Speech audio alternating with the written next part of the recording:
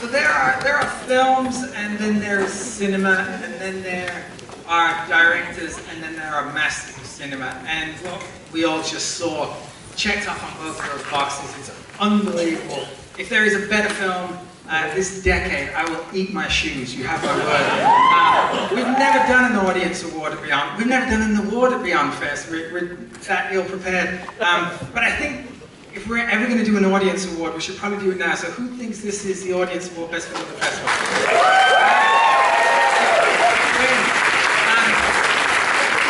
I want to bring up to the stage uh, Ms. Jen Yamato. She's gonna she's gonna moderate.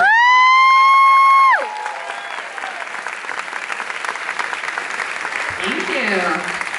And um, we've got some props, we've got some friends. Um, uh, one more ask of everyone in the audience. We all still have our glasses, because we'll need our glasses. Um, because we're going to recreate this, but we're going to recreate it with um, our friends and then uh, a very special filmmaker. Um, he's made incredible movies, a number of masterpieces. This is obviously his latest. Uh, it gives me the greatest pleasure of ever being on this stage to introduce the man himself, Mr. Bong Joon Ho.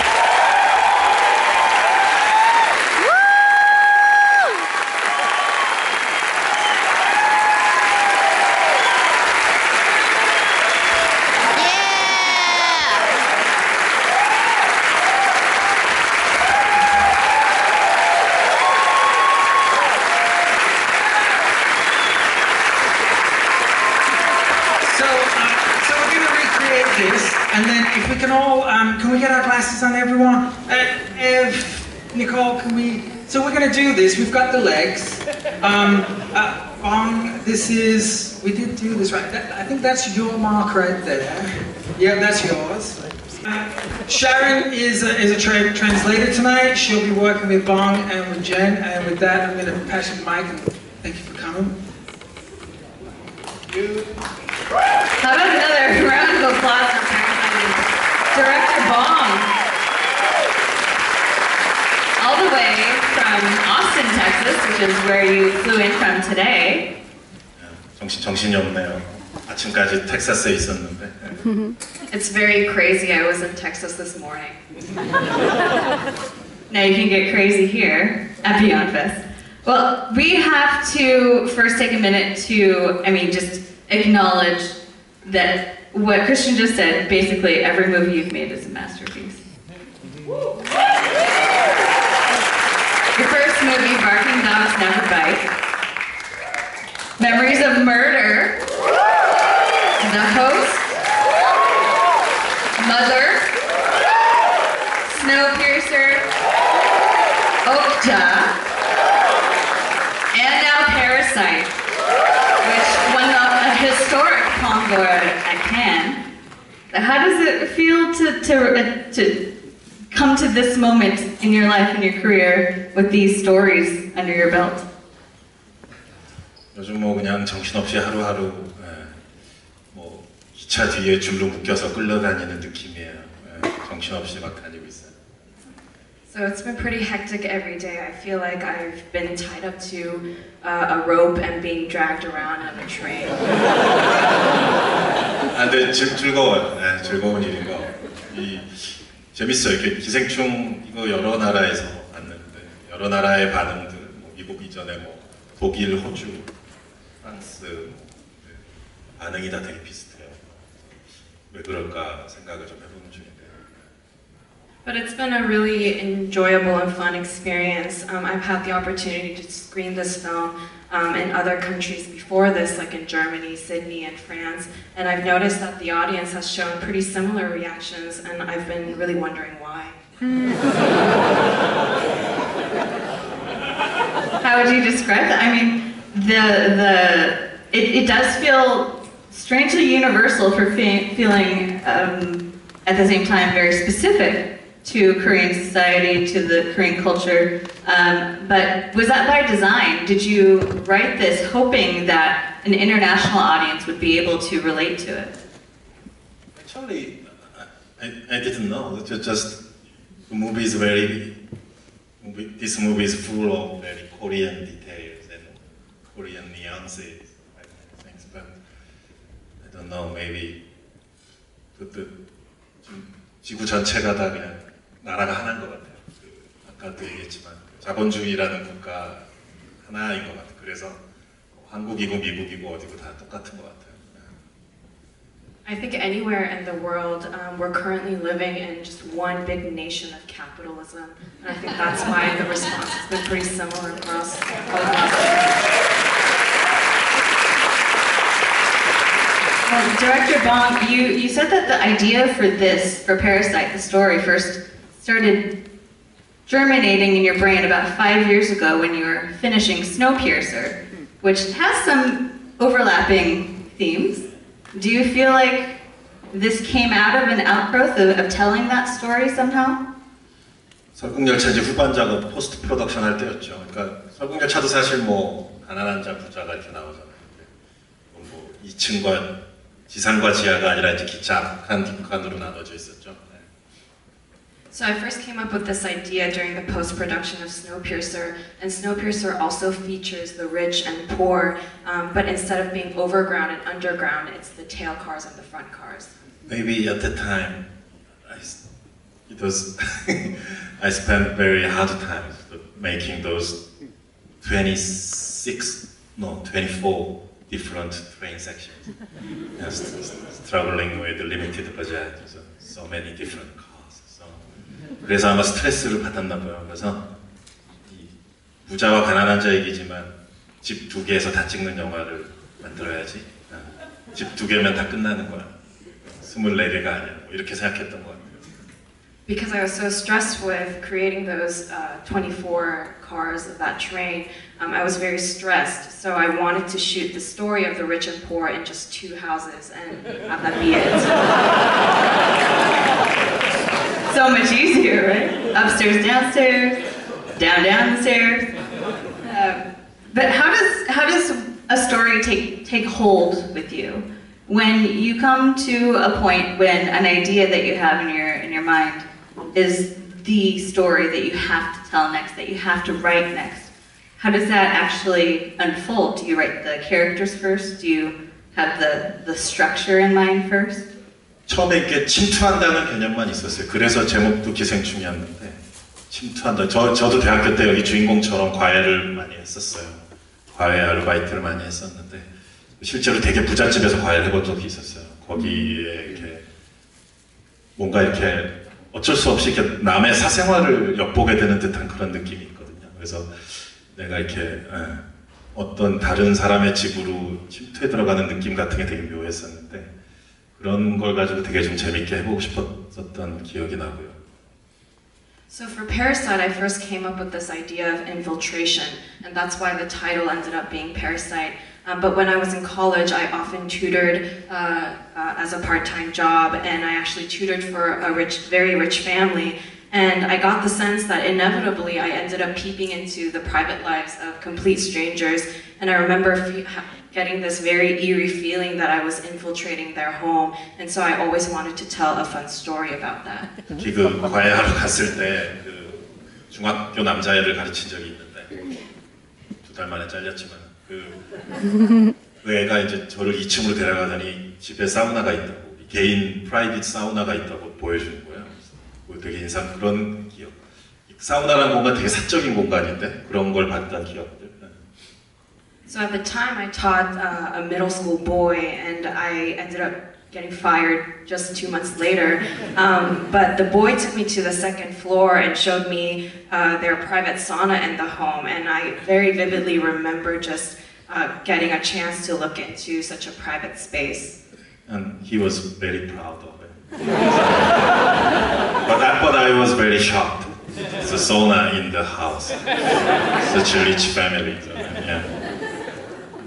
이런 것들이 뭐 이런 기억들부터 해서 여러 가지 그래서 그 과외 선생뿐 아니라 뭐 그 부잣 집에 들어가서 할 수 있는 직업들이 많이 있잖아요. 운전기사 또 뭐 하우스메이드 뭐 가정부 이런 식으로 해서 그걸 하나의 가족 단위로 해서 다, 다 들어가 보자. 나만 들어가는 게 아니라 그런 생각을 하게 된 거죠. So from these memories, I thought of all the different jobs that would require you go into the rich house, like being the driver, the housekeeper, um, and so I wanted to tell a story of just an entire family going into this house as one singular unit. But you, everyone already watched the movies. I can say very freely that there is a third family. This is not not story of two family. In the in the marketing process, we always this rich and poor, but actually in the movie there is a third family, the couple in the basement. 그, 그 마지막 지하실에 관한 모든 것들은 이제 몇 년간 전혀 그 생각이 없었고 그 실제 이제 스크립트를 시나리오 쓰는 마지막 3개월에 다 한꺼번에 나왔어요. So for the several years that I was developing this story, I actually um, did not think of that last couple in the basement. It all came to me during the last three months of the actual script writing process. I wonder, you're not still in touch with the family who you tutored, are you?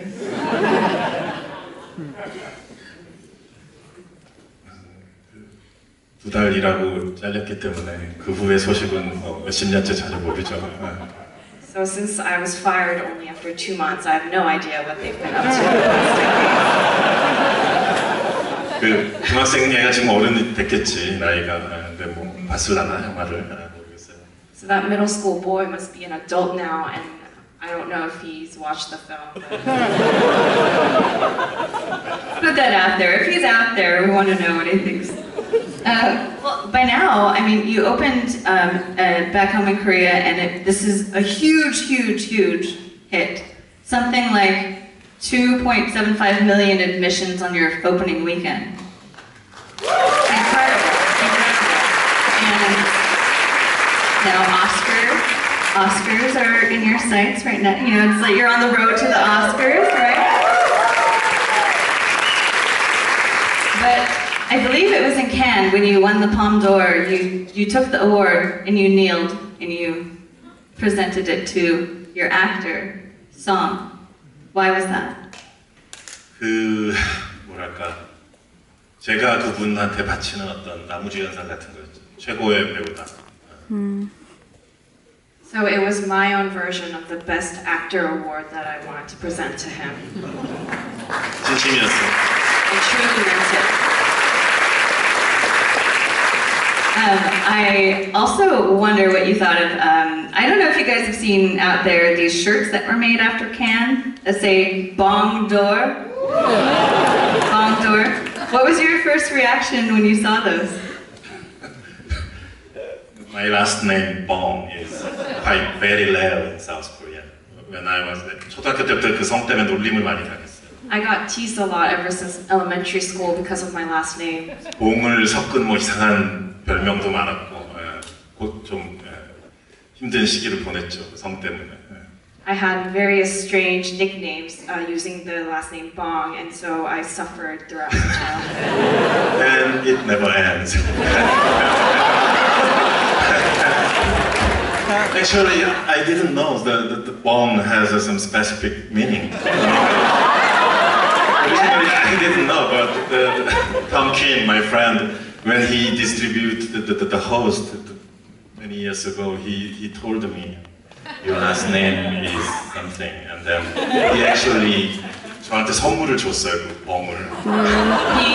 봉을, 봉에게 봉을 준 거지. So he gave me a bong and I 그래서 한국으로 돌아갈 때 공항에서 되게 좀 이렇게 괜찮을까, 되게 좀 걱정은 됐었는데 어쨌든 되게 고마운 선물이었죠. So I was quite worried when I took it back to Korea at the airport, um, but it was a great gift nonetheless. and now you've earned a gold one. 네. Uh, I want to ask you about working with each other as brothers. How do you? I mean, he's described you as as like a brother. 글쎄요, 그뭐 예, 형제처럼 편안하게 일을 하긴 하죠. 그리고 또 그렇게 말을 많이 하진 않아요. 서로 이렇게 세트장에서 그리고 뭐 책상에 마주 앉아서 서로 회의를 한다거나 그러진 않는데 뭐 그만큼 서로 또 마음이 잘 통한달까? 작품을 이제 같은 시나리오를 가지고 둘이 있는 거잖아요. 하- 매일 같이 뭘 찍어 나가는 건데 작품에 대한 관점이나 이런 게 잘 맞는 것 같아요. 일단은. 예.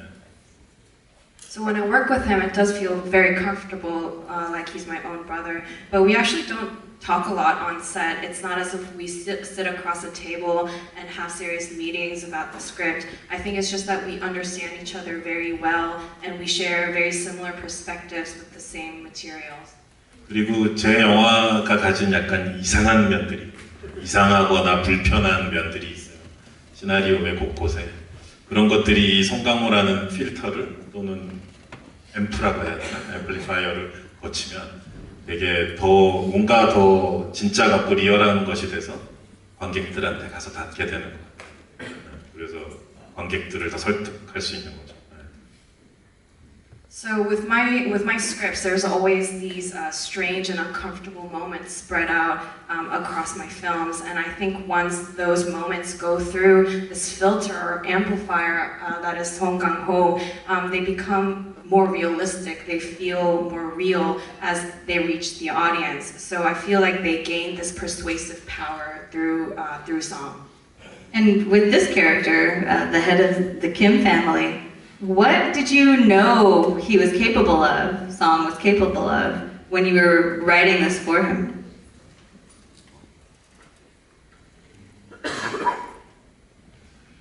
그 첫 페이지를 쓸 때 뭐 라스트 페이지까지 다 완벽하게 계획이 안 돼 있을 때도 있죠. 또는 뭐 마더처럼 마지막 장면이 먼저 머릿속에 있고 그 앞에 두 시간이 오로지 거기를 향해서 가는 것처럼 쓰는 경우도 있고 어쨌든 마지막 그 클라이막스 시퀀스가 처음부터 머릿속에 정리되어 있지는 않은 상태로 썼어요 기생충은. So sometimes when I write the first page, I have no plans for the last page. And sometimes, as in Mother, um, I come up with the last scene first and write the, the two hours that come before so that uh, the narrative propels towards that moment. With Parasite, um, I didn't really have clear ideas on the last climax when I started writing. 이제 송강호라는 배우가 이 역할을 연기한다라는 거를 이미 전제를 하고 배우 본인과도 얘기를 했고 그러고서 써나가니까 점점 더 과감해진 면이 있죠. 어, 그러면서 마음껏 쓰고 싶은 대로 썼던 것 같아요 마지막까지. 그 이성균 그 극중 사장님 CEO 캐릭터 그러잖아요. 선을 넘지 말라고. 근데 어, 송강호와 함께 이렇게 선을 같이 넘는 느낌. 마지막 클라이매틱 시퀀스에서 정말 선을 넘어버린다고 생각해요.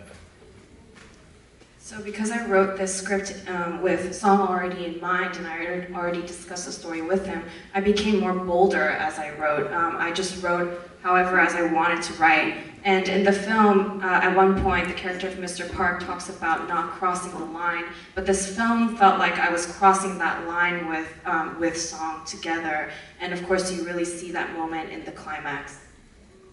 Um, I wanted to add that we will have some time for uh, questions from the audience. So if you have a question, just get it ready. We'll, we'll, we'll get to them. Um, but we have to we have to know there's.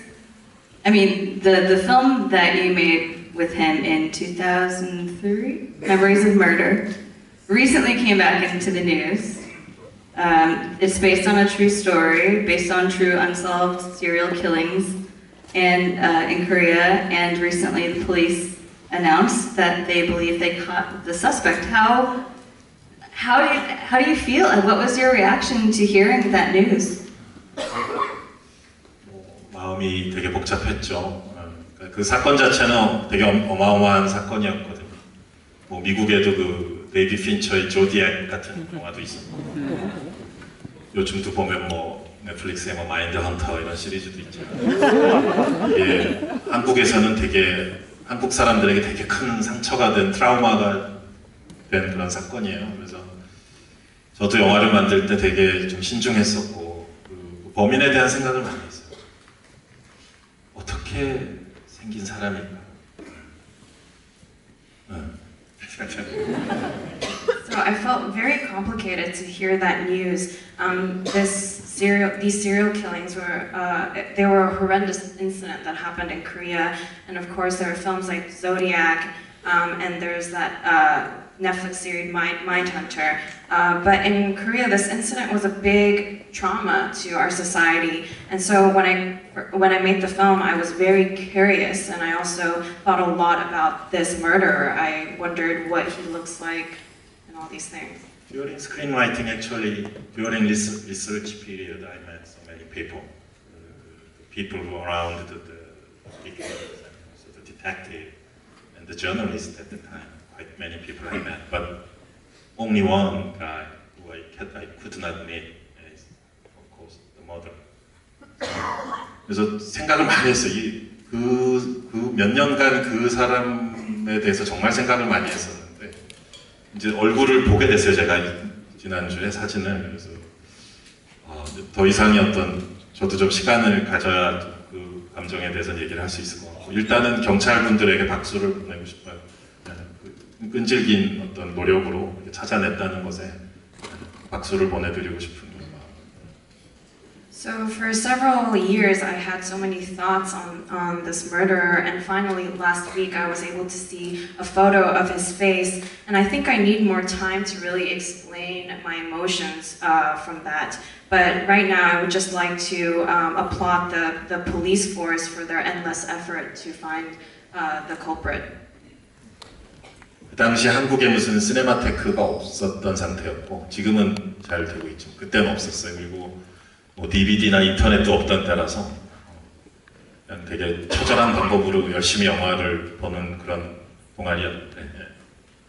So I did create a film club during my university years, and at the time there weren't many cinema techs in Korea, and we didn't really have DVD or internet either. So we were uh, we found very desperate measures to watch films.